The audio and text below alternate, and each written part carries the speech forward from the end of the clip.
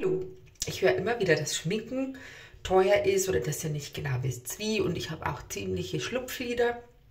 Und deshalb wollte ich euch mal zeigen, wie ihr mit ganz einfachen Sachen aus jedem Drogeriemarkt einfach ein ganz schnelles Make-up machen könnt. Da habe ich zum Beispiel zum erstens den Löscher von Maybelline. Da kann man Rötungen super abdecken. Und der löscht auch so kleine Fältchen. Man kann diese dunklen Stellen hier so. Und wie gesagt, wenn ihr irgendwelche Rötungen habt, deckt super.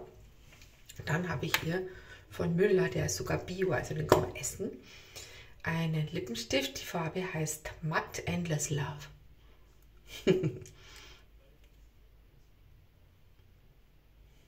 Und den könnt ihr auch gut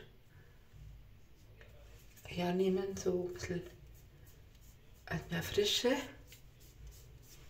So, sieht doch schon völlig anders aus, oder?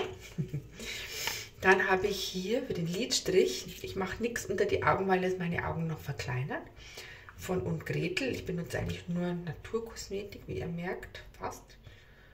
Und den habe ich schon seit einem halben Jahr.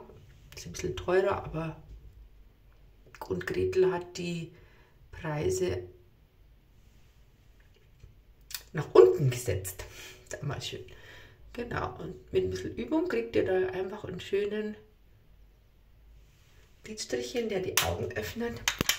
Als letztes habe ich hier eine Wimperntusche, die ist von Gigi Naturell. Ich habe das übrigens alles selber gekauft.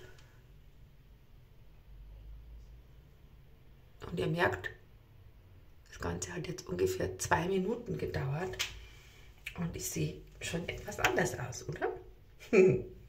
also, ganz schnell geschminkt, teilweise mit Naturprodukten, also hauptsächlich und also mit Biokosmetik.